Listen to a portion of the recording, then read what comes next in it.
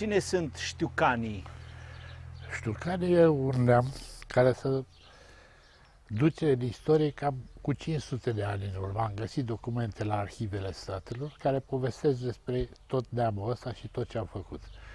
Au fost străbunica mea, soră cu Dincă Scheleru. Au avut terenuri la zona de munte, câteva sate poartă numele de Ștucani, și bunicul meu a venit și s-a căsătorit cu Eftichia Popescu aici la... După în anul 1928 a murit bunicul, bunica și în două, la două luni a murit bunicul după ea și a rămas tata cu încă patru copii pe care i-a crescut și a avut, bineînțeles, grijile de ei. Când ne-a scos din perioada copilăriei de au ajuns la majorat, nu mai bine au început să apară necazurile. A fost arestat, că nu, nu putea să-și pună tot pământul, a făcut pușcărie și la Severii și la Carasebe și asta pentru sabotaj și pentru diferite astea. Am avut ocazia acum să văd dosarele la CNSAS și am rămas uimit niște oameni care de încredere zis și care ziceai că au o anumită demnitate morală ce au putut ca să declare. Dar totul e istorie. Așa au gândit, așa au făcut, n-am niciun resentiment față de ei. S-a căsătorit tata mai târziu, m-a avut pe mine în august. În noiembrie 1944, pe urmă în 46 a mai avut o soră și în 49, după ce s-a întors din pușcărie, încă o soră.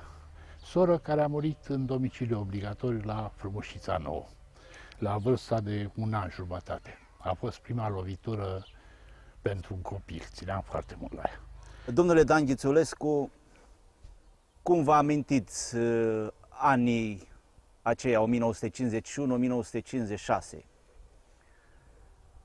Păi să începem cu începutul, nu? Uh, era în ziua de Duminica Mare, când uh, părinții mei erau la, într-un sat vecin la Nedee, la Curlățel, și uh, bunica era acasă cu mine și cu sora. Pe la patru și jumătate dimineața am fost treziți din somn de uh, jandarmi deci, și soldați. Deci erau mai mulți jandarmi și uh, soldați. Ne-au au venit acasă, ne-au zis să nu, că nu avem voie să părăsim casa și ne-au întrebat unde sunt uh, părinții. Și noi am spus, adică bunica a spus că sunt la, la Nede. Și au zis că îi așteaptă să, să vină, să vină cât mai, cât mai repede.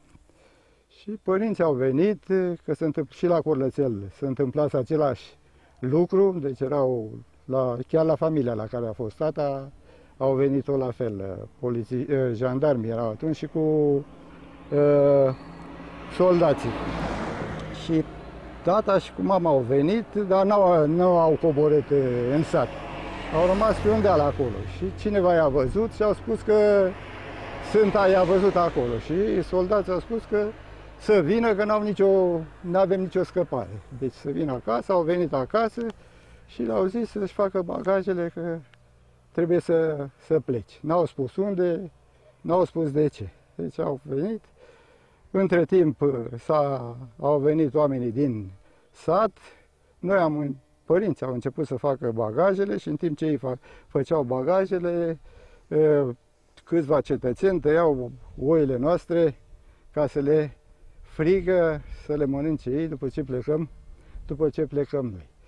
Să, părinții au făcut bagajele, au, s-au pregătit, între timp au trecut niște care de la podul Grosu spre Bucura ca să ia fân, au fost oprite ca să ne ducă la să ne ducă la gara cu bagaje cu tot. Și am zis să luăm ce putem. Ce puteam să luăm? În, erau trei care. Ce să iei în trei care? Am luat uh, un pat, uh, un dulap, uh, de mâncare și o vacă. Deci asta a fost norocul nostru, că am luat o vacă cu, cu noi. Au fost îmbarcate în calele respective și ne-au dus la uh, Tâmna, la vreo 20 de kilometri, deci la gara la Tâmna, la vreo 20 de kilometri departe de Olteanca, unde locuiam noi. Acolo am fost îmbarcați în vagoane de la tip bou sau cum le zice, cam așa le zicea, acolo claie peste grămadă, cu găini, cu vaca, toți în același uh, vagon și uh, am, am așteptat până au venit uh, și alții din alte sate, s-a format garnitura, după care am, am plecat.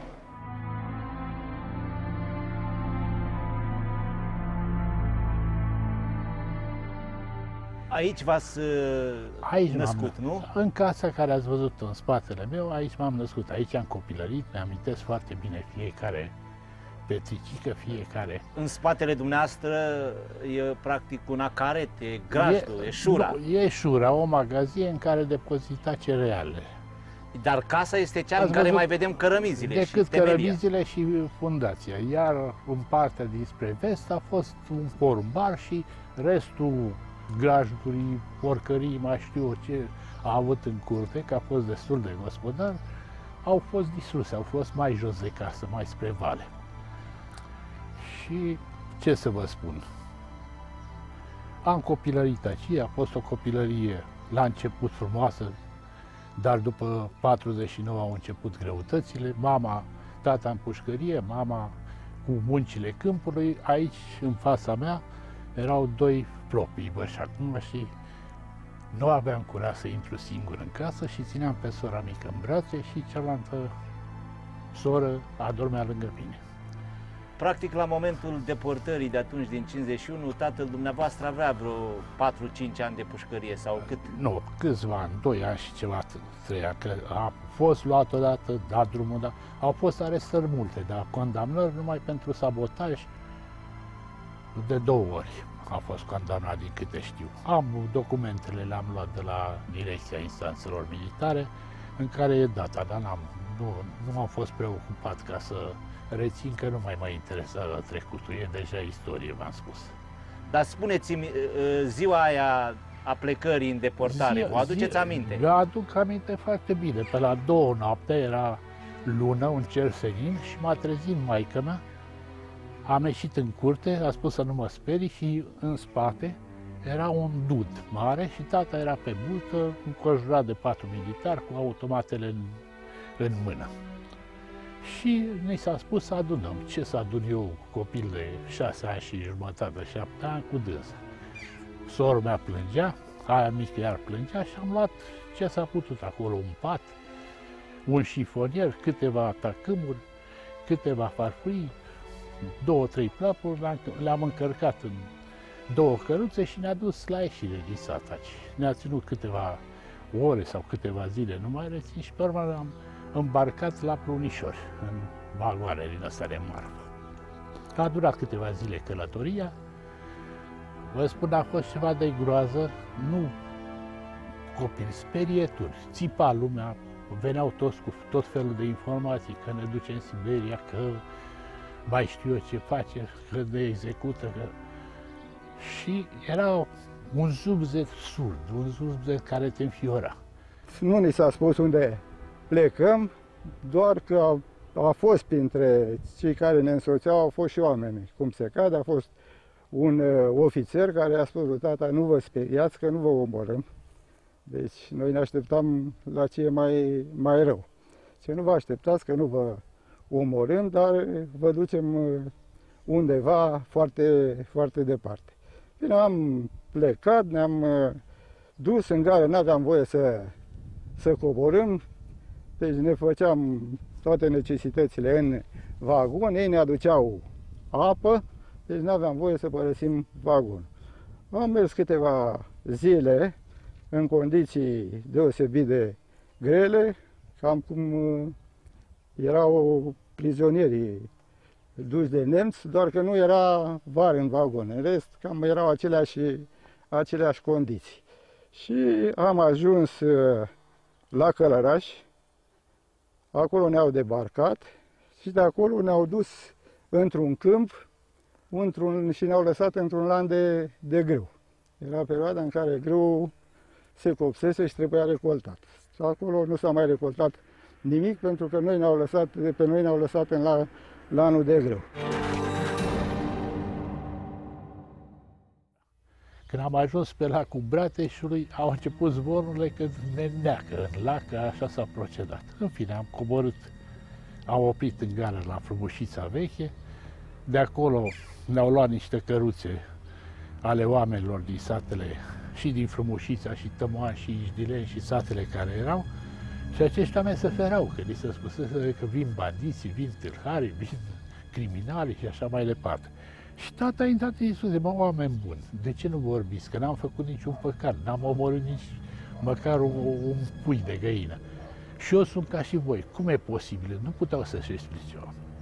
Ne-au dus în lunca prutului acolo, am trecut Covârluiu, că dacă ați fost la Prumușița Nouă știți că e Covârluiu, ne-a lăsat acolo în grâu niște țăruși bătuți în pământ și a zis să ne facem casă. Acolo era deja pregătit totul pentru înființarea noului sat.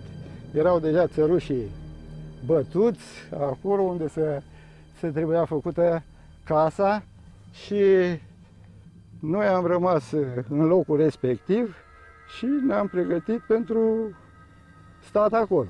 Deci la început n-aveai unde să stai, am făcut, au făcut părinții, deci tata și cu fratele lui au săpat bordei în pământ, a fost acoperit cu cerci, cu pături, cu ce aveam, ca să ne adăpostim pentru perioada de, de ploaie. Ă, erau condiții deosebit de, de grele, pe lângă condițiile acestea care stăteai mizerabil, erau și lipsa de apă, deci nu erau fântâni, ne aduceau apa cu cisterna și acolo era un grămădeală mare, cine apuca, apuca, cine nu, nu. E perioada, mi-aduc aminte că plângeam de, plângeam de sete. Deci era perioada în care nu puteam să, nu, nu, aveam, nu aveam apă.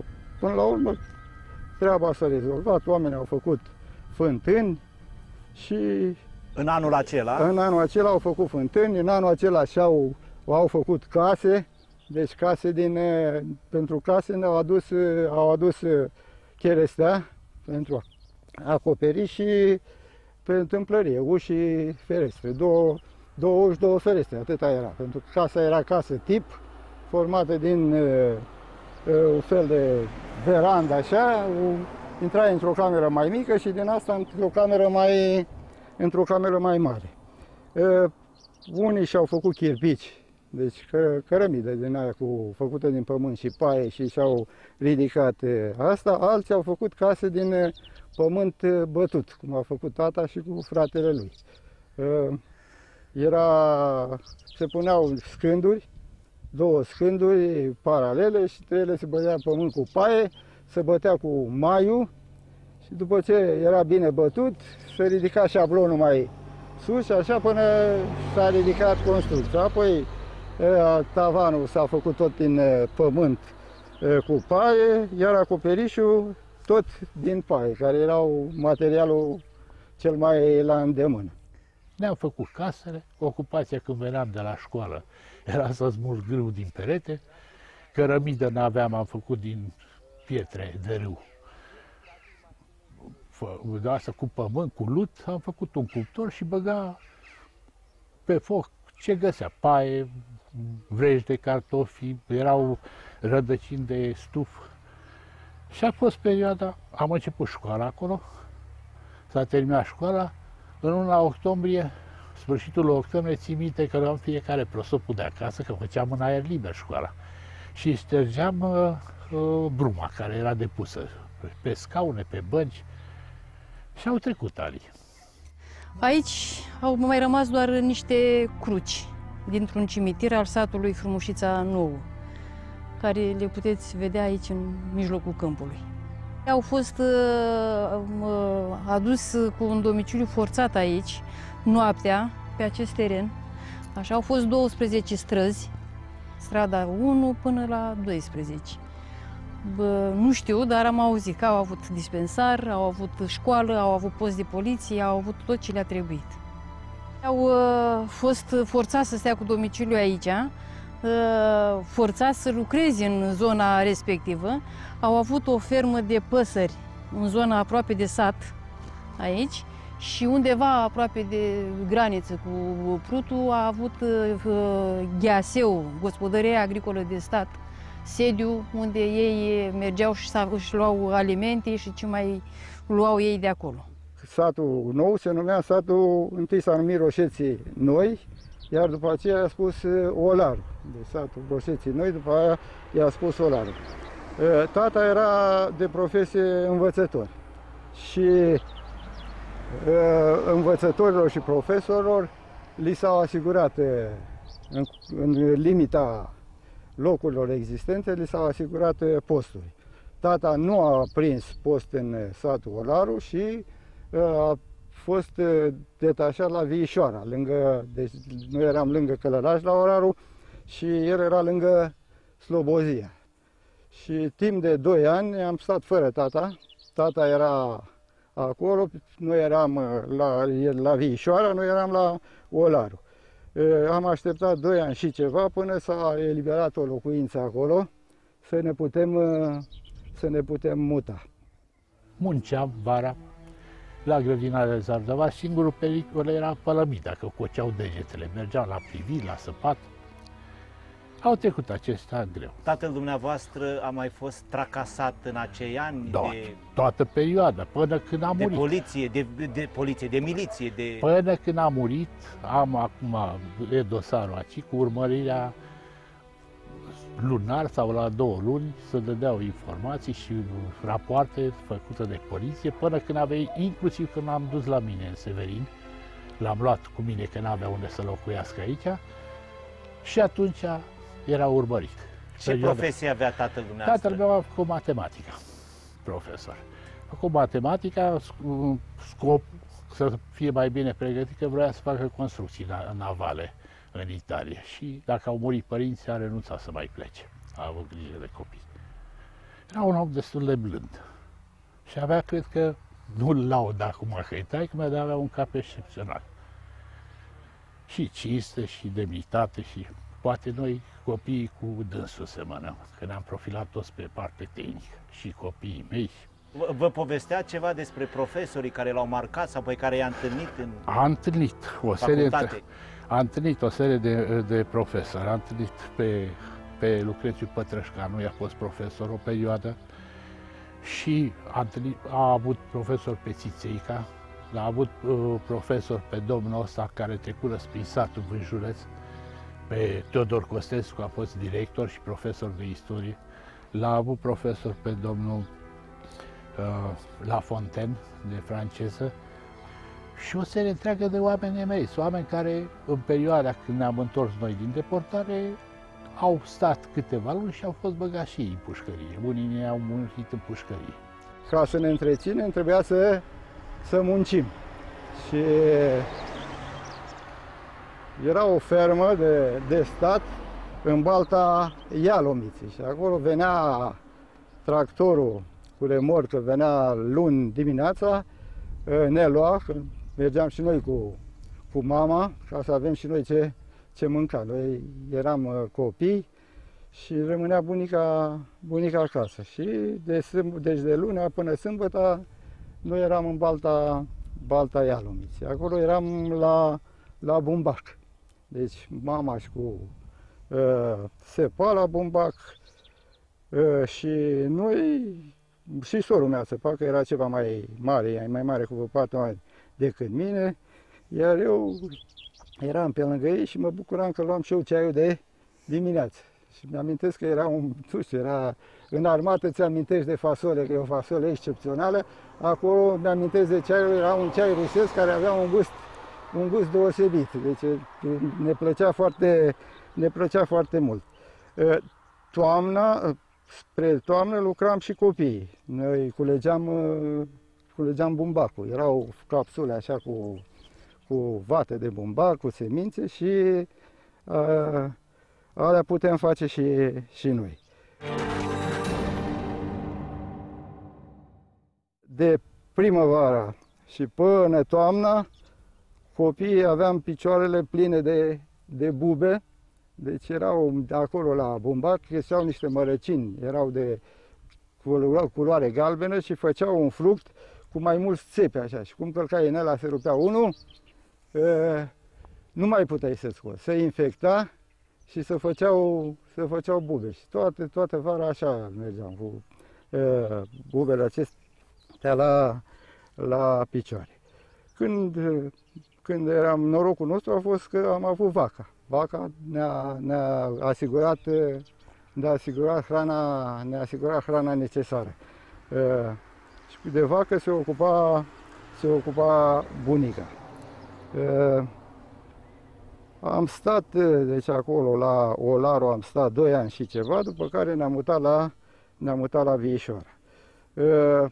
La Viișoara se cultiva orez, orez și legume. Deci acolo era lângă Slobozia, orez și legume și la orez aici am lucrat și eu, la orez și la, și la grădină. Erau munci considerate mai ușoare, dar munci mai, mai periculoase deci toată vara trebuia să stai în, în apă. Deci orezul se, se, se cultiva în parcele, se semăna și se dădea drumul la apă. Deci orezul când răsărea, nu răsărea uniform. Deci răsărea în unele părți mai mult, mai des, în altele părți nu răsărea deloc. Și noi trebuia să-l luăm din, să-l transplantăm din locurile în care era prea, prea des și să-l punem în locurile în care erau mai, mai rare. Și noi, fiind copii, nu ne puteau pune pe statele de plată. Deci nu ne asigurau doar, doar hrana. Deci, dar și acesta era un lucru, un lucru mare pentru, pentru noi, pentru că era o hrană caldă, spre deosebire de acasă, unde mânca mai mult roșii, ciorbă de, ciorbă de roșii și carne prea, prea puține.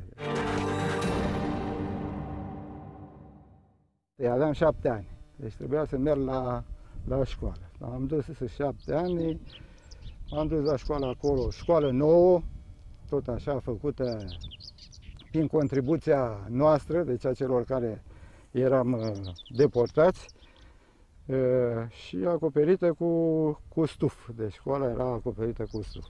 Uh, am avut și, deci acolo am avut uh, învățători și profesori foarte buni, erau din, uh, din dintre noi, dintre deportați, unii, cum era domnul Raia, era din lângă Timișoara, era profesor universitar și preda la noi, la, la noi, la cei mici. Vă dați seama că acolo am învățat, am avut și, și avantaje în sensul ăsta, că Eh, am învățat într-adevăr, într-adevăr carte. Deci am avut eh, profesori foarte, foarte buni. Eh, la muncă mergeați mai mult în vacanțe, nu? Sau în perioada în la care... Mun- mergeam vara. La mun- noi, nu, iarna, vara. Păi nici părinții nu, nu munceau decât... Părinții nu munceau decât vara. Iarna nu, nu aveau unde să, să muncească, pentru că erau ferme din astea agricole. Când se termina campania, nu mai, nu mai avea unde să muncească. Noi am avut totuși un, o șansă, pentru că tata a fost învățător și primea salariu. Drept un salariu nu prea, ca și astăzi, de fapt, nu prea substanțial, dar era totuși ceva decât, decât nimic. Acolo la Frumușița, la Brateș, da. tatăl dumneavoastră a fost vizitat de polițiști, de... Da, era chemat uh, având trei copii. Maica mea să bolăvise sora mea, maica mea plecată. Eu cu dânsul lucram la casă și a fost chemat de mai multe ori și mângâiat vorba aceea că e sabotor, că să opune construcții și a spus, mă, domnilor, n-am ce să fac, sunt cu copilul și fata mică, fata, a mijlocie, are patru ani, copilul are șase ani jumătate. Particip și la muncă voluntară, că S-a făcut școală, s-a făcut post de miliție, s-a făcut o, un magazin și trebuia să faci zile. Zice, trebuie să le câștigi și existența, că n-am de unde. Și vă spus ea, a terminat mai târziu casa. S-a terminat casa la sfârșitul lui septembrie. Când ne-am mutat în ea, era umed, umed. Când am început să facem focul în octombrie, deja grâu era cum era pe câmp în luna respectivă și aveam obligația zilnică după ce veneam la școală să privesc grâu din pereți. Iar iernile, că sărim de la una la alta, iernile erau groaznice. Stăteam toți într-o cameră, să stingea focul în cuptorul respectiv, iar tot condensul care curgea pe fereastră se depunea cam de două, trei degete pe perete, gheață, gheață. Mă mir cum totuși am rezistat. Sorul mea n-a rezistat, a fost mai plăpândă și a murit acolo la 2 ani. S-a îmbolnăvit odată, a fost salvat, a doua oară până i-a obținut aprobările să se ducă cu ea la medic, a fost prea târziu și e îngropat acolo. A murit și bunica mea, tot în că și frații mei au fost deportați. Asta a fost. Copii fiind uh, la sărbătorile acestea, de sfârșit de an, de uh, la Paște, uh, vă adunați, mergeați cu colindu, cu cum se întâmplă mergeam, în perioada copilăriei? Mergeam, pentru că acolo eram, deci noi în Oltenea nu prea avem tradiții așa, să zic, tradiții care să se respecte, dar acolo era o adunătură, deci eram din Banat, era din uh, din Oltenia, erau și macedoneni, erau și moldoveni, deci veniți refugiați basarabeni erau acolo, deci erau din mai multe părți. Și ăsta aveau tradiții și noi, fiind copii, ne-am împrietenit cu ei și mergeam la, mergeam cu Buhaiu, aduc aminte, deci mergeam cu Buhaiu, mergeam cu Sorcova, la sfârșit de an se organizau serbării, de, de sfârșit de an școlar. De sfârșit de an școlar, sărbări foarte, foarte frumoase, sărbări la care participau nu numai părinții copiilor, ci și ceilalți locuitori ai satului, pentru că vedeau, aveau de văzut ceva. Era singura, de fapt, singura distracție sau singurele momente în care participau și ei la un eveniment mai ieșit din, din comun. În perioada respectivă, la Olar sau la Vișoara, Olarul ați era. plecat vreodată din, să zicem, zona respectivă în care erați încartiruiți? Nu, n-aveai voie să părăsești zona, zona respectivă, n-aveai voie să... Un singur om a reușit să, să plece, a reușit să ajungă la, era de la Orevița, a reușit să ajungă acasă, pe ascuns și tot pe ascuns a venit și nu l-au prins și ne-a spus ce mai este ce mai este pe acasă. De asemenea, n-au voie, n-aveau voie decât eh, să ne viziteze alții. Deci nu aveau voie să, să vină pe la, pe la noi. Un singur, o, o dată a venit pe la noi un nepot de-a lui, de la bunic, de-a lui bunică mea. Era jandar la Poliția Călare în București și a reușit să, să fiind în, în uniformă, deci a reușit să se să se strecoare și să, să vină pe la noi. Când l-am văzut am rămas tablou, era o minune. Deci, practic, ceea ce se întâmpla, pentru că nimeni nu mai venise pe la, pe la noi atunci. Tatăl dumneavoastră, ceilalți deportați, știau de ce s-a ajuns la situația aceasta, din ce cauză au fost aduși acolo? Problema e că eram în zona de graniță, că n-au fost, decât trei județe au fost. Deci, din zona de graniță, zona cu Iugoslavia. Atunci eram uh, în relații rele cu, cu Iugoslavia. Deci Tito era prezentat ca un dușman cu bardă, cu nu știu ce, era făcut și noi în zona asta de, de margine eram, uh, eram socotiți cei care aveau o situație mai înstărită, erau socotiți dușmani ai poporului, chiaburii. Deci ei trebuiau să să plătească, pentru că chipurile erau uh, partizani ai iugoslavilor, deci simpatizau cu, cu iugoslavii. Asta a fost, uh, după câte am auzit, nu sunt sigur, deci modelul este cel uh, rusesc. Modelul rusesc au luat dislocări de populație, nu? ca să li se piardă urma națională. Au fost luați din Moldova, aduși în Siberia, din toate regiunile. Nu? Așa și ai noștri au făcut uh, uh, același lucru. Și cei mai tragic, am auzit, dar nu, dar nu am certitudinea, că ai noștri au cerut să facă lucrul ăsta, nu rușii le-au impus.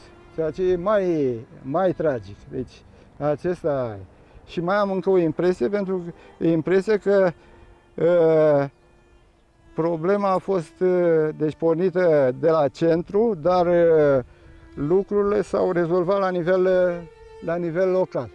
Deci, practic, eu așa cred și nu cred, sunt mai mult ca convins că fiecare comună trebuia să dea un anumit număr de, de oameni care să fie deportați. Pentru că au fost, cum era aici la Pătule, au fost oameni mult mai înstăriți care au rămas acasă și alții săraci au fost, au fost deportați. Deci, practic, era problema legată de relațiile dintre autorități și, și locuitori. Cel care nu era văzut bine sau cel care nu crâgnea împotriva uh, primarului era uh, stigmatizat și trebuia să, să plece. Deci a fost și un mijloc să scape de oamenii incomozi. Și felul ăsta i-a trimis acolo. Când v-ați întors din deportare, Când ați venit aici, nu? Nu. Am venit aici în sat, dar aici nu i s-a dat absolut nimic. Și am stat cu chirie la diferite persoane. Ba, la cunoștințe, la vărul meu avea o casă mai veche. Casa aceasta, careturile, da. ce s-a întâmplat cu ele? Casa a fost preluată de ceape, și cu tot ce a fost, cu toată gospodăria și s-a motivat uh, în momentul când am fost eliberați din uh, deportare, a apărut un HMO care zicea ca să li se restituie toate bunurile avute înainte, inclusiv pământurile. Dar dacă sunt ocupate de unități de stat sau cooperatiste, să nu mai fie restituit nimic. Și până acum 91 n-am mai călcat de mic copil până 91 pe aici prin curte, când mi s-a dat o parte din curte, că restul a fost luată de fiecare și a făcut parte. Cum a fost întoarcerea acasă? Vă amintiți? E, întoarcerea acasă în ianuarie.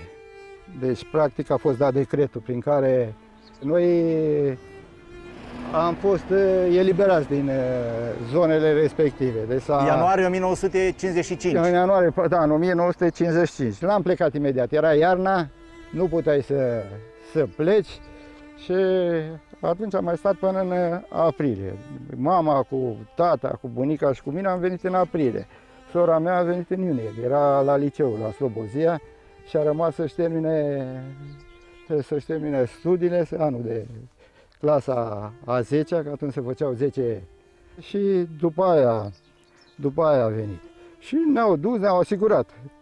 Deci când a venit ne-au asigurat vagonele pentru, pentru a veni acasă. Nu ne-au mai asigurat de, de la gare transportul spre casă. Deci când ne-au luat s-au îngrijit de treaba asta. Dar când ne-au adus, n-au mai, nu, nu, ne-au, nu ne-au mai luat ei. A trebuit să să scriem acasă, de să trimitem scrisori, să vorbim cu rudele, să vină să ne, să ne ia de la, de la gară. La gara care? La gara de la Tâmna. Noi aparțineam de, de Tâmna. Deci, Tâmna. Tâmna. Tâmna, da, de la Tâmna. Deci toată zona asta a fost la, la Tâmna. Deci pătulele aici care mai Vânju, Orevița, deci au fost la, am fost la Tâmna. Când am venit acasă, ce să găsești? Am mai găsit casa, dar atât. Nu uși, nu ferestre, nu nimic. Unele ziduri erau dărâmate, pentru că făcuseră cămin cultural într-o, într-o parte a casei. Dărâmaseră zidul ca să aibă salon de, de dans. Era o casă tip culă. Era tip culă, avea... Deci ea inițial a avut uh, două camere și un uh, hol. Deci un hol mare și ulterior s-au mai adăugat două camere. Și între ele două camere care erau lângă casă au desfăcut un zid și era mare, camerele erau 4 pe 4, vă dați seama, aveau 8 metri pe, pe 4 metri. Am venit acasă, au venit eh, rudele, vecinii, ne-au adus de mâncare și noaptea au început să vină. Să aducă ba o ușă, ba o fereastră și în felul ăsta aproape au adus eh, toată, toată tâmplăria. Iar ce nu au adus, au făcut, au făcut părinții și au refăcut zidul. casa a fost sediul uh, CAP-ului? Casa sau... a fost sediul CAP-ului, magazia își depozitau grânele, era un pătul începând de acolo la gar vreo 65 de metri, sunt documentele care scriu totul și în momentul când și-au mutat sediul s-a preferat să se fure, fiecare a furat cât ce a putut. Asta a fost sistemul, inclusiv ce a fost în casă. Dar asta, vă spun să e trecut, nu mă gândesc la bunuri materiale, ce a fost a fost. Știu că au fost făcute prin muncă cinstită, iar alții au profitat. Iar după 90 am venit aici. Aceea situație. Tracasări, plimbări, nu s-a restituit drepturile care le-a avut înainte de portare pământul, au început să-mi dea 2 hectare într-un loc, 3 într-un loc, 5 într-un loc, m-au dus și la 10 km în comunele vecine, că n-a mai fost pământ. Nici când, după ce am venit, n-am, uh, n-am uh, scăpat de, de persecuții. În tata, un an de zile, a fost dat afară din învățământ, tot pe motive din astea politice, că, este, că e reacționar, reacționar și un an de zile a stat fără serviciu. A, i-a dat în judecată în Ministerul Învățământului și e, la recurs a câștigat, l-a reîncadrat, dar nu i-a mai dat e, salariu pe perioada în care, deși a avut, a avut dreptate, nu i-a mai dat salariu pe perioada în care n-a funcționat. Sora mea, iarăși, eu eram mai mic, a avut de suferit pentru că copiii de deportați nu aveau voie să dea la facultate, deci în perioada aia a făcut o școală tehnică și după ce a terminat școala tehnică s-a anulat decretul prin care uh, copiii deportaților deci nu aveau voie să urmeze studii superioare și atunci a făcut facultatea de geologie. Deci după ce a terminat școala tehnică. În general toți copiii de deportați au au avut, au terminat studiile superioare. Deci oamenii s-au ținut, s-au ținut de, s-au ținut de carte. Și, și acum avem de, nici acum nu s-a rezolvat toate problemele. Avem o casă pe la Severin, naționalizată, nici astăzi n-am intrat în posesia ei, nici astăzi nu ne-au dat despăgubiri. Pământul care îl aveam nu ni l-a dat în vatra satului, ni l-a dat la 25 de kilometri departare pentru că decretul prin care s-a făcut reform, reforma agrară prevedea ca pământurile să fie date în zona IAS-urilor și IAS-ul era departe, deci fusese recomasate pământurile și uite așa, eu am pământul, eu stau aici și am pământul la 25 de kilometri. Familia mea uh, a avut 300 și ceva de hectare, din care după ce s-au împărțit frații în trei, au revenit cam 550 de hectare de, de copil. V-am spus că în 38 au ajuns la majorat și tata a fost în dore al lor. Și au fost vreo 50 de hectare în care s-au preluat o parte de stat și după aceea s-a făcut CAP-ul în 51 înainte de deportare, prin februarie și pe noi ne-a deportat în iunie. Părinții dumneavoastră aveau pământ? Păi ei aveau pământ, au avut cam 25 de hectare. Deci pământul era, cum să spun, era, nu era al tata, pământul era al mama. Tata a fost învățător, mama a terminat școala de menaj, era casnică. Și erau doi frați, deci pe 20, 20 de hectare, că 3 hectare au fost al tata. Doi frați și fratele lui mama era student la telecomunicații la Timișoara. Și ca să poată urma studiile, a renunțat la pământ și l-a dat tot lui, lui mama. Și dându-i pământul lui mama, s-au format, s-au făcut vreo 23 de, de hectare. Și aveam pământ, dar asta era împărțit deci, între tata, era și bunica care avea și bunica pământ, dar v-am spus, nu au ținut ei cont de, de așa ceva. Dacă erai văzut rău de la primărie, soarta ți era pecetuită. Și așa am ajuns în, în Bărăgan. Cum privesc uh, copiii dumneavoastră copiii mei acest tip de memorie, domnule Știucan? Nu vor ca să înțeleagă. Vin și mă întreabă cum a fost posibil așa ceva. De ce n-a spus că n-aveți nicio vină? De ce? Pentru ce ați fost bunicul meu pedepsit? Și n-am ce să le explic, că nici eu nu știu. Efectiv, nu știu. Și am întrebat peste tot, domnule, ce rău a făcut? Singura problemă e că a moștenit la părinții lui pământul. Asta s-a motivat. Și că și-a văzut, eu zic că corect, n-am găsit pe nimeni să spună că i-a înșelat cu ceva sau că i-a furat sau că i-a escrocat. Singura treabă că a fost gospodar și trebuiau să dispară toți care nu erau în tot cu politica respectivă. Asta a fost toată treaba. Și printre ai noștri, deci printre deportați au fost de, oameni de nimic. E, informatori ai, informatori ai securității. Era un băiat de la Oreviță, un uțurai. Și erau la e de bumbac, desfăceau bum, bumbacul, când îl făceau, era, când îl culegeau, erau capsule și din, în capsulă era vată cu semințe și aia o scoteau, deci vata cu semințe o scoteau după ce culegeau bum, bumbacul. Deci era o sală și acolo se duceau. Și ăsta era glumeț așa și a aruncat o capsulă de aia de bumbac în portretul lui Stalin. Și că ia mă și curăță și tu, nu te uita la noi cum curățăm. Și s-a găsit un nenorocit și l-a turnat la securitate și pentru asta a făcut de ani de pușcărie.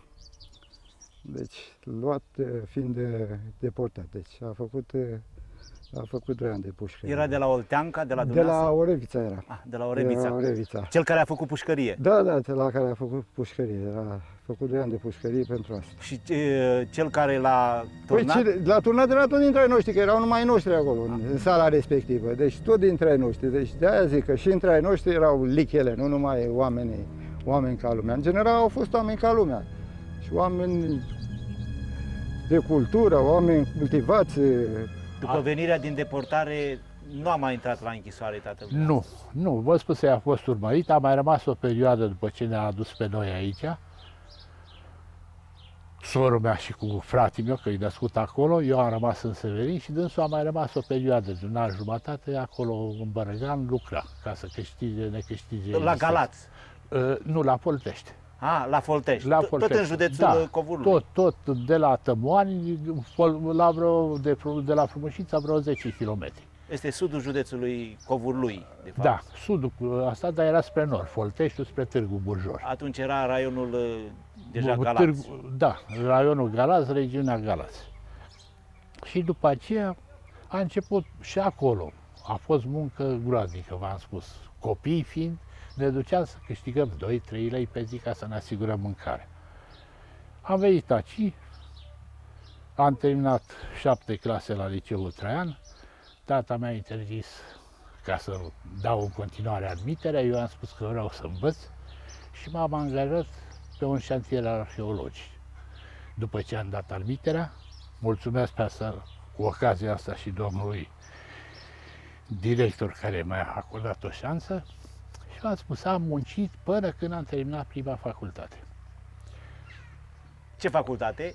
Prima, v-am spus, a fost electrotehnica și după aceea matematică. Și apoi, după ce m-am căsătorit, am făcut și finanțe contabilitate.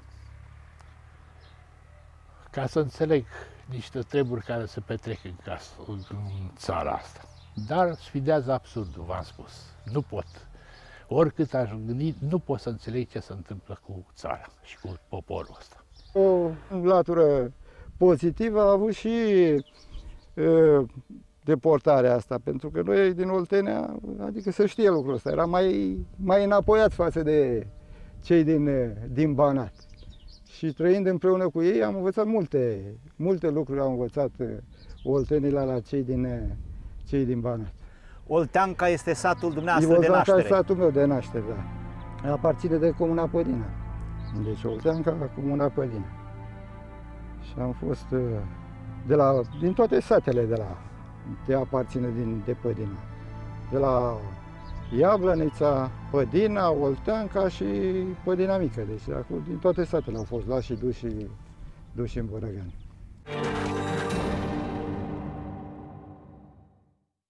Înțeleg că fiii dumneavoastră sunt plecați în Occident, fiii trei mei, dintre ei și unul este în țară. Unul este în București, la uh, fresc al semiconductor, unul e în Anglia, face medicină de urgență și doi sunt la Stuttgart, în Germania.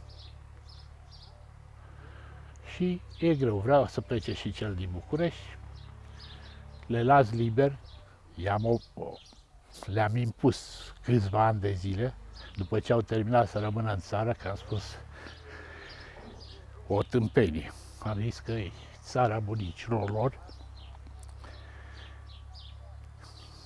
dar nu se poate. Șansele lor sunt minime. Casa uh, s-a dărâmat. Casa s-a dărâmat prin 59-60, când s-a făcut cea pe o uh, sediu nou. Iar treaba cu despăgubirile de ordinul cântecului și povestii.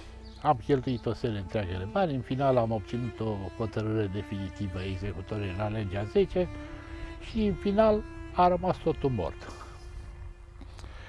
Nu e, are importanță partea materială, v-am spus. Materialul mă interesează mai puțin. Bine că am supraviețuit eu și mi-am făcut datoria față de familie. Asta este un trecut destul de dur, dar mă gândesc că trebuie să fiu optimist, că există o credință și cel puțin copiii mei vor duce altă viață. Credeți sau vi s-a întâmplat ca felul de a fi al tatălui dumneavoastră, al neamului dumneavoastră, să aibă o recepție firească, pozitivă din partea concetățenilor noștri? Da, da, păi și acum sunt respectat. Sunt oameni la 80 de ani, nu îndrăznesc să spună pe nume, mă salută să rămână și ce să vă mai spun restul. A fost foarte apreciat aici și au ținut oamenii la el. Dar vedeți că au mai rămas puțini din oamenii care au fost. Așa că viitorul e destul de tragic.